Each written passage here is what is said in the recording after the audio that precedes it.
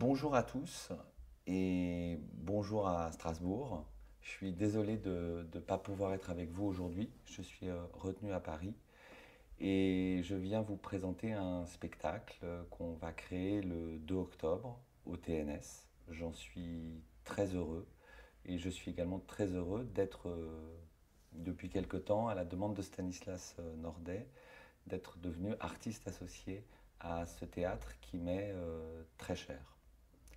Le spectacle que nous allons créer euh, à Strasbourg à la rentrée est tiré d'un texte d'un poète qui s'appelle Paul Celan. Et le texte s'appelle Le Méridien. Le Méridien est un discours que Paul Celan a prononcé euh, en 1960 à Darmstadt, en Allemagne, quand il a reçu le prix Büchner.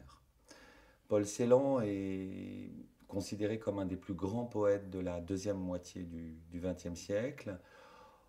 On peut dire, pour aller très vite, que sa poésie a été profondément marquée par, euh, euh, une des plus grandes tragédies du XXe siècle, qui est l'extermination des Juifs en Europe centrale sous le nazisme.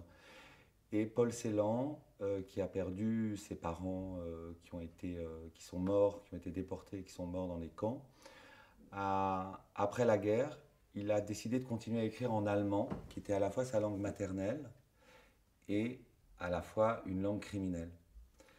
Donc il a opéré sur l'allemand tout un travail qui est à l'œuvre dans sa poésie.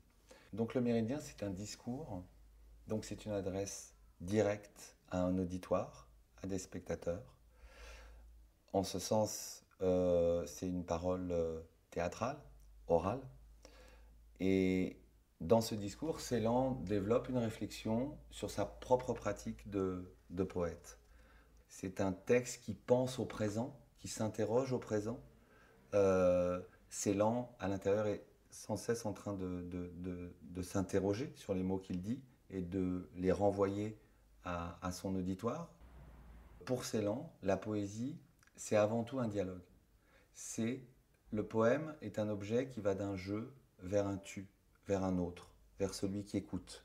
C'est ce qu'il nous dit dans le méridien. Et il dit aussi cette chose très belle, il dit, je ne vois pas de différence entre un poème et une poignée de main. Ça veut dire que le poème se fait dans la rencontre. La poésie devient un langage de la proximité avec l'autre, qui se donne et s'offre à l'autre. C'est cette envie qu'on a à travers ce spectacle de partager, voilà, cette chose qu'on appelle le langage poétique, qui est une chose très particulière et qui ne nous renvoie pas à une reproduction du réel, mais qui est une façon de euh, percevoir plutôt que de représenter. Voilà. Les mots sont là pour nous faire percevoir des choses et pas pour nous les représenter.